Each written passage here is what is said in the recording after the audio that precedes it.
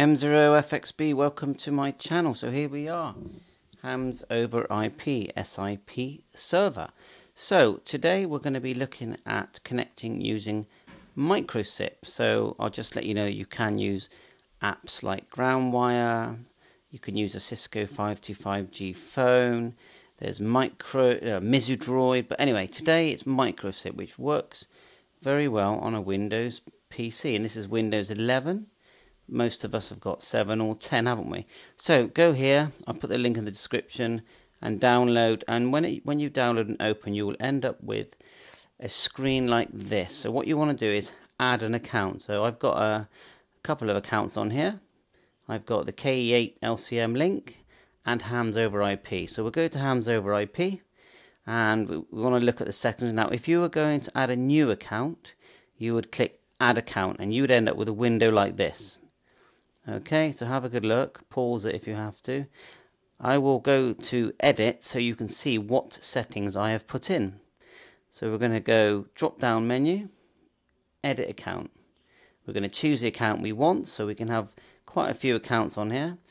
Let's start at the top. So I've named it hams over IP. You don't have to, but that's what I've named it. Then the SIP server, I've put the same address uh, for SIP server and proxy there. So just that's the correct one. Put that in as well. It's 45.32.182.11.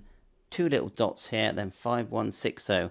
I've already been assigned my a number 20013. If you want a number, just go to the main website and just click request a line here, register and fill the form out. There's also a Discord page and you can donate if you want. So, back to my setup. So here we are. My number was given to me as 200013. Again, where it says domain, put in that same proxy address. Paste the password that you were emailed from um, Hams over IP. Display name M0FXB, voicemail star 97. And when you click that and you click save, what you should see, if it works, is a little green thing here that says online. If it's flashing or if it's red, then it hasn't worked. So we could actually ring ring someone now. I will um, just ring it just for fun. Um, let's see if I can just turn it up a bit here. I'm not really sure. I'm just going to ring someone at random and, and see if it answers. So two, oh, you should be able to hear it.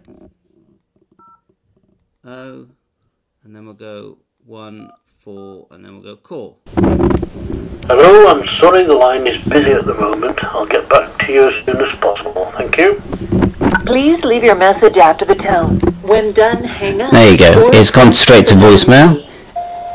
Hi, M0FXB. Give us a call, 73.